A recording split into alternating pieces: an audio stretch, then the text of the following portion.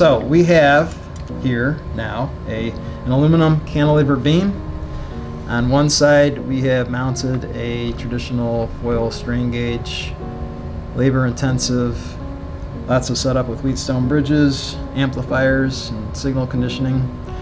And on the other side we have a piezoelectric reusable strain gauge which plugs directly into our ObserVR 1000 and we have it adhered to the aluminum beam with super glue similar to what we would use with an accelerometer.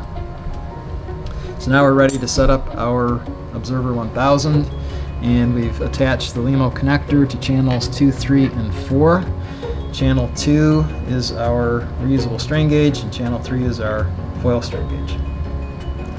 So going to the VR mobile app on the phone and we see that we have already connected our observer but I'll just connect it and reconnect it just so you can see.